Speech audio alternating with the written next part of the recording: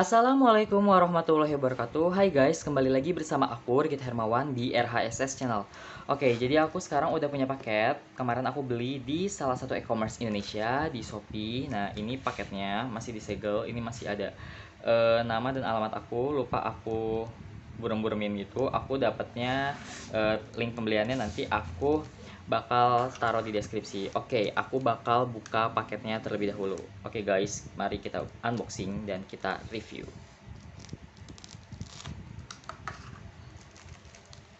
Oke, ini udah aku buka, aku sobek. Jadi ini masih segel ya. Nah, ini kita buka plastiknya. Oke, ini paketnya udah aku buka. Nah, ini ada unit handphonenya dari Fafa. Nah, ini dari Fafa, FA Ini dari Fafa. RAM-nya aku beli yang 2 per 16 GB. Nah, uh, sebelum aku uh, buka boxnya, kita baca dulu deskripsi yang ada di boxnya. Ini boxnya seperti ini. Uh, depannya ada gambar unit handphone, ada merek Fafa. Terus belakangnya ada spesifikasi singkatnya uh, ini layar 5,5 inci 18 banding 9 layarnya udah 4G terus udah real dual kamera baterainya 2800 uh, 2800 mAh. Nah ini boxnya cuma seperti ini aja Fafanya nah di samping kiri polos kanan polosan nah Fafa ini adalah uh, brand asli Indonesia yang udah uh, garansi resmi Indonesia. Ini garansi resminya satu tahun. Uh, ini serinya XP3 nah jadi ini udah garansi resmi ya guys. Satu tahun. Mari kita uh, buka aja uh, dusnya. Ini kita buka di sini. Sedikit. Kita langsung aja kita buka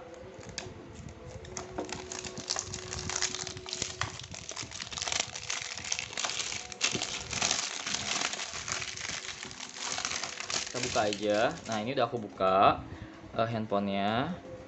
Terus kita buka boxnya. Ini boxnya bukanya gimana ya? Agak sedikit sedikit susah sih guys. Ini masih kayak masih kayak ngerekat ngerekat gitu sih boxnya. Kayak masih baru banget ya. Jadi ini agak susah. Oke kita buka dulu boxnya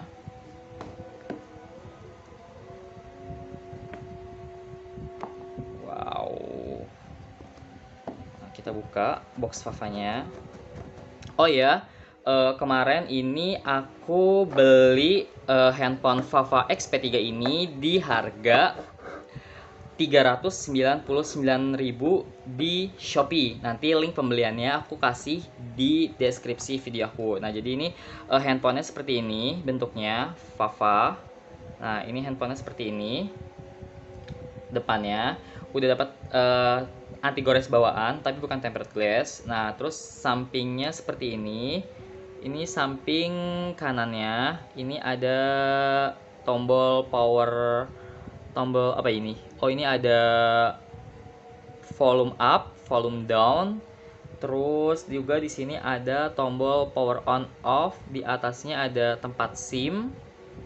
Terus di bawahnya ada tempat port USB Type C oh gila ini ini harga 400.000 tapi uh, casannya udah pakai Type C guys. Nah jadi ini Type C, terus ini di sini ada speaker. Lubang speaker audio ini cuman kayak variasi aja sih, soalnya ini bolongnya rapat gitu. Ini yang buat speaker audio atau videonya dari sini. Terus belakangnya seperti ini. Di sini ada fingerprint, di sini ada logo Fafa, terus di sini ada flash, kamera, belakang dual kamera. Nah ini layar depannya kayak gini. Nah, kita keletakin aja. Nah, jadi udah aku buka. Ini ada handphone. Uh, terus di dalam boxnya itu kita udah dikasih, oh kita cuma dikasih charger. Ini chargernya udah Type C ya. Uh, terus kita dapet earphone. Oh, earphone-nya juga Type C guys. Aku nggak nyangka banget loh. Di rentan harga yang kayak gini kita dikasih jack juga loh buat sambungan earphone-nya. Oh gila sih, ini mantep banget. Aku excited banget di harga 400-an tuh. Oh, Gila ini recommended banget. Terus kita dikasih kepala charger Fafa ini dari iCherry. dia brand Fafa ini dari iCherry aku juga baru tahu sih nah terus ini ada buku pengguna atau buku panduan terus kita dikasih buku garansi juga satu year garansinya tuh. Nah ini aku dapat kartu garansi terus aku juga dikasih SIM injektor nah dari dalamnya itu aja. Sayang banget sih nggak dikasih softcase ya. Tapi untuk harga 400 ribuan ini tuh menurut aku worth it banget. Nah sekarang aku bakal uh, nyalahin handphonenya guys. Oke. Okay. aku mau nyalahin handphonenya dulu. Nah ini udah aku nyalahin handphonenya. Hmm, nah ini tampilan uh, tampilan awal Favanya tuh seperti ini. Nah terus uh, bawahnya kayak gini. Ini tipis banget. Ini tipis banget. Aku dapat yang warna merah. Tipis banget sih. Digenggam tuh enak banget. Kayak solid gitu. Terus belakangnya itu kayak karbon gitu. Nah ini udah nyala. Tampilan layar handphonenya tuh seperti ini. Udah nyala Nah, ini tuh merek Papa tapi dari iCherry. Nah, uh, iCherry ini tuh kayaknya mereknya, tapi Fafa XP3 itu kayak seriesnya gitu deh. Nah, ini Fafa tapi tadi kayak dari iCherry gitu kan. Aku juga nggak ngerti. Nah, terus ini udah nyala. Hmm, tampilannya kayak gini. Tampilannya kayak gini nih, guys. Nah, terus kita nyalain aja. Oh, ini selamat datang. Kita okein aja. Kita mengerti. Nah, ini seperti ini. Jadi tampilannya tuh seperti ini. Nah, uh, handphone kayak gini. Terus kita lihat pengaturan, settingnya. Hmm, kita setting-setting penyimpanan. Kita lihat penyimpanannya. Penyimpanannya itu 16 GB ROM, terus uh, RAM-nya tuh cuman 2 GB. Nah, kita dikasih RAM sama ROM yang segitu. Nah, oh ternyata di sini ada lampu LED-nya gitu loh, guys. Nah, tuh ini tuh nyala tuh. Di pinggir-pinggirannya ini tuh ada lampu led gitu loh. Nih kelihatan nggak? Nah ini tuh kayak ungu merah nah ganti-ganti gitu kan. Nah terus ini juga tombolnya tuh nyala. Tuh nyala. Di pinggir-pinggiran juga nyala. Eh gila sih ini harga 400 ribu nih sekeren ini. Nah pokoknya ini menunya kayak gini.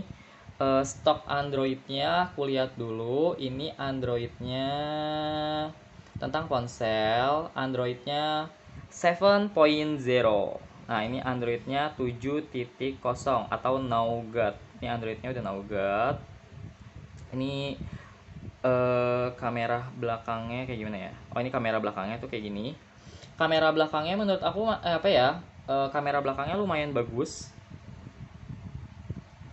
Shutternya juga cepat. Ya walaupun agak sedikit ada jedanya Tapi bagus sih menurut aku. Nah ini hasil eh, dari kamera kameranya Fava X3 ini. Tuh kamera kameranya sih lumayan bagus. Terus kamera depannya coba kita pindahin ke kamera depan nah ini kamera depannya kayak gini tampilannya. Tuh karena aku ngerekam pakai light gitu jadi agak kayak uh, kayak agak uh, terang banget. Hai, jadi ini kamera depannya. Kalau menurut aku sih uh, kamera depannya juga lumayan bagus, uh, terang, kelihatan juga. Nah, terus apa lagi nanti aku bakal ngecek-ngecek ya. Jadi ini uh, handphonenya tuh sekilas begini. Ini tuh keren banget pinggirannya tuh nyala gitu guys tuh. Ini pinggirannya tuh nyala. Nah, ini tuh harga 400 ribuan, tapi kita bisa dapat sekeren dan sebagus ini.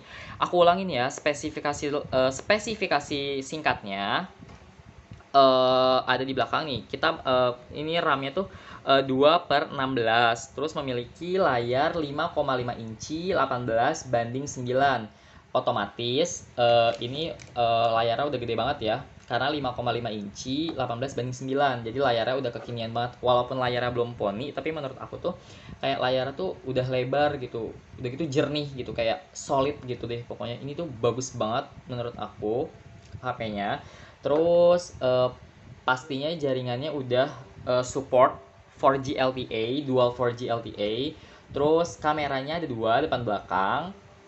Dan ternyata kameranya beresolusi kamera depannya 13 megapiksel, kamera belakangnya juga 13 megapiksel. Jadi kamera depannya itu tuh uh, kamera depannya uh, kamera depannya tuh ada flash, ada flashnya. Terus kamera belakangnya juga udah uh, single flash sih, belum dual flash. Ya rentan harga murah ya. Ini flashnya cuma ada satu nih single.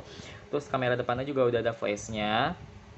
Uh, terus uh, pokoknya ini gila ini gokil sih. Uh, harga uh, 400 ribuan. Kalian bisa dapetin handphone yang sekeren ini. Dan RAM-nya juga lumayan gede banget. Oh ya kenapa aku bisa dapetin uh, harga 400 ribuan? Nah kemarin kebetulan aku belinya pas lagi uh, ada promo gitu di tokonya guys jadi uh, tokonya itu setiap uh, setiap berapa bulan sekali tuh bakal kayak ngadain uh, apa sih kayak ngadain promo-promo besar-besaran gitu kalau enggak promo itu ini harganya tuh 700 700 sampai 700 700 sampai 750 ribuan harganya. Karena kemarin aku dapat promo, aku dapat harga 450 ribuan. Nah, tapi aku pakai voucher dari Shopee juga. Aku dapat vouchernya itu uh, potongan harga 50 ribu Nah, jadi aku beli ini sama aja kayak 399.000. Aku pokoknya dapat cashback 50.000 lebih deh dari Shopee. Nah, ini handphonenya kayak gini. Terus kayak terus menu-menunya tuh kayak gini. Menu-menunya kayak gini. Nah, kayak Android stock 7 7.0. Nah, menurut aku sih uh, harga rentan 750 uh, ribuan jadi 400 ribuan ini worth it banget. Kalian wajib banget beli uh, handphone Fafa ini. Oh ya, tadi handphonenya tuh udah aku sedikit setting-setting juga. Aku lupa mau ngetes fingerprintnya ini. Tadi udah aku masukin sidik jari tangan aku. Nah ini fingerprintnya menurut aku. Nah ini aku matiin. Ini aku matiin ya. Terus aku tekan. Ini fingerprintnya menurut aku. Ya walaupun agak sedikit jeda, agak lama ya. Tapi sesuai lah sama harganya. Nah jadi tuh LED-nya ini uh, LED samping handphone ini tuh mati kalau handphonenya keadaan mati juga. Tapi kalau handphonenya keadaan nyala nah LED ini tuh ikutan nyala. Menurut aku sih bagus aja gitu. Kayak kalau malam jadi kayak terang nggak keliat keliat pasti kelihatan gitu. Jadi kayak menurut aku oke okay banget sih. Kalian uh, cocok banget buat eh, ibu-ibu uh, yang mau main sosial media. Terus cocok banget juga buat hadiah anak uh, naik sekolah supaya belajar rajin giat gitu tambah rajin giat tambah rajin belajar. Terus ini juga cocok banget dipakai buat anak-anak yang sekarang lagi sekolah online. Nah kan kalian butuh uh, butuh banget tuh orang tua uh, handphone buat sekolah online. Anaknya menurut aku tuh ini handphone cocok banget digunakan buat anak-anak yang lagi sekolah online. Karena harganya murah tapi RAM-nya juga udah gede. Nah itu aja sih menurut aku. Tambahan dari video yang tadi Nah, kayaknya uh, udah cukup segitu aja review dan unboxing HP hari ini tentang Fafa XP3. Sekian dari saya. Jika kamu suka sama video aku, jangan lupa like, comment, dan subscribe supaya channel aku semakin berkembang dan semakin uh, inovatif dan uh, berkaryanya semakin kreatif lagi guys. Nah, sekian dari saya. Wassalamualaikum warahmatullahi wabarakatuh.